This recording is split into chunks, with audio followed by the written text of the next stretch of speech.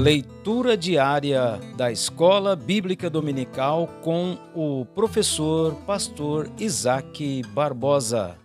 A paz do Senhor, que esta leitura seja uma bênção para você e para a sua família. O tema da leitura diária de hoje é uma diversidade de operações realizadas pelo mesmo Espírito. E o texto base hoje é mas um só e o mesmo Espírito opera todas essas coisas, repartindo particularmente a cada um como quer. 1 Coríntios capítulo 12, versículo 11. Amados, a palavra de Deus, através deste versículo, traz algumas coisas que são importantes para a nossa meditação nesse dia.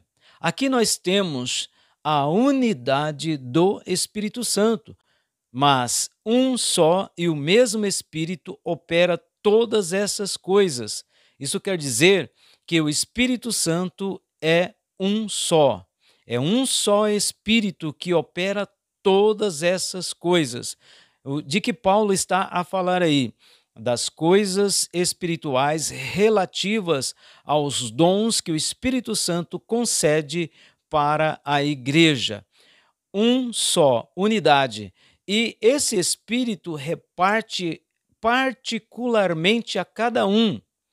Assim como o Espírito Santo é um só, é uno, ele reparte a cada um particularmente, ou seja, ele dá a cada um conforme a sua vontade. Aqui nós temos é, a soberania do Espírito Santo na repartição dos dons, na distribuição dos dons.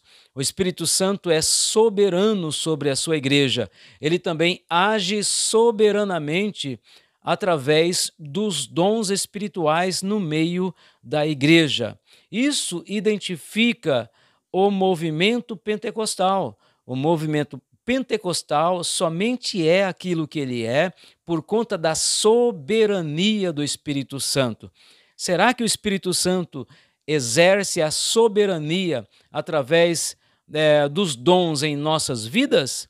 Que o Santo Espírito de Deus venha continuar te abençoando através dos dons espirituais, você e a sua família. Esse é o meu desejo, que Deus te abençoe ricamente.